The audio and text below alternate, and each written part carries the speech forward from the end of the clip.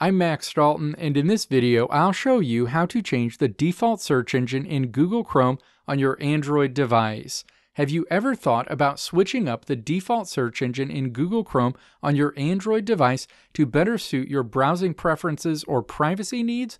Whether you're a fan of Google, a supporter of Bing, or curious about DuckDuckGo, changing your default search engine can make a big difference in your web experience. In this video, I'll show you how to change the default search engine in Google Chrome on your Android device. It's a quick and simple process, but it opens up a world of possibilities for customizing how you explore the internet. Now let's walk through the steps to change the default search engine in Google Chrome on your Android device.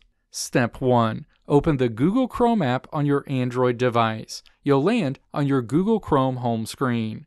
Step 2. Tap the vertical ellipses at the top of this screen. A menu opens. Step 3. Tap Settings in this menu. The settings screen is displayed.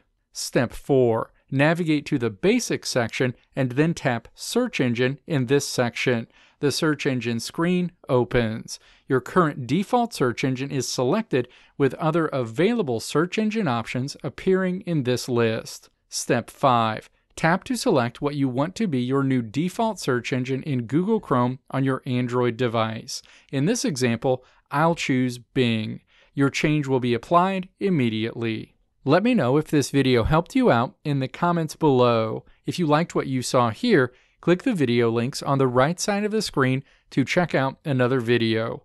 Or click the logo on the left side of the screen to check out my tutorial website at www.maxdalton.how.